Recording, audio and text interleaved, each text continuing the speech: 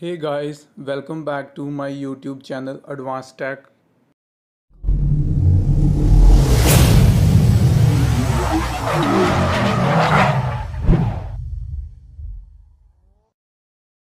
आज मैं आपके लिए एक बहुत ही इम्पोर्टेंट वीडियो लेके आया हूँ कि आप देख सकते हैं कि मेरी गाड़ी का जो क्लच का पैडल है वो ऊपर नहीं आ रहा क्लच का पैडल इसलिए ऊपर नहीं आ रहा इसका जो क्लच सिलेंडर है वो थोड़ा फाल्टी हो गया हालाँकि मेरी गाड़ी बिल्कुल ओके चल रही है, कोई दिक्कत नहीं है पिकअप बिल्कुल ओके है। तो आज मैं आपको बताऊँगा कि हम घर पर इसको कैसे फिक्स कर सकते हैं।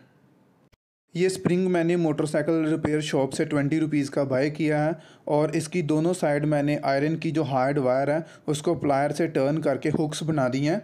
और जो गाड़ी का क्लच सिलेंडर है, अगर आप उसको इंस्टेंट रिप्लेस नहीं करवाना चाहते, आप आउट ऑफ़ बजट हो, आप कुछ टाइम ऐसे ही निकालना चाहते हो तो आप इस स्प्रिंग की हेल्प से अपने क्लच पैडल को फिक्स कर सकते हो, ताकि क्लच प्लेट्स ख़राब ना हो।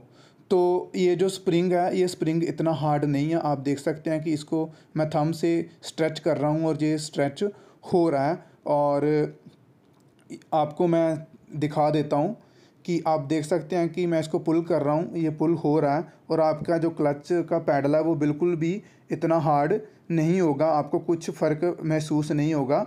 और मैं आपको ज़रूर अपडेट करूँगा कि सेम क्लच सिलेंडर के साथ मैंने कितने महीने गाड़ी को चलाया। तो मैं आपको बताता हूँ कि कैसे हमने स्प्रिंग को फिट करना है क्लच पैडल के ऊपर। तो ये क्लच का पैडल है, आप देख सकते हैं। और ये जो इसकी पिन है, आप सामने देख रहे हैं, ये पिन है। यहाँ पे एक साइड जो स्प्रिंग की हुक है, उसको मैं यहाँ पर लगाऊँगा और जो दूसरी साइड की हुक है, उसको मैं, आप देख सकते हैं, ऊपर यहाँ पे इसमें लगा दूँगा और जो स्प्रिंग है, इसके ऊपर बिल्कुल फिक्स हो जाएगा।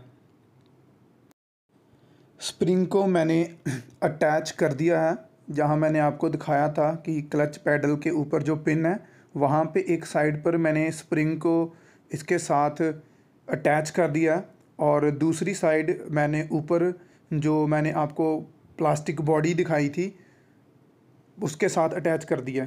आप देख सकते हैं कि स्प्रिंग लगाने के बाद जो क्लच का पैडल है, वो कम्प्लीटली ऊपर आ रहा है।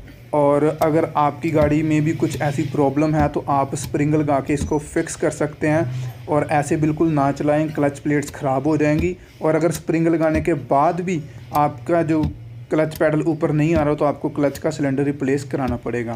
अगर आपको मेरी वीडियो अच्छी लगी तो मेरे चैनल को सब्सक्राइब करें, साथ में बेल आइकॉन को प्रेस करें, ताकि मेरे आने वाली वीडियो का नोटिफिकेशन आपके पास सबसे पहले पहुँचे।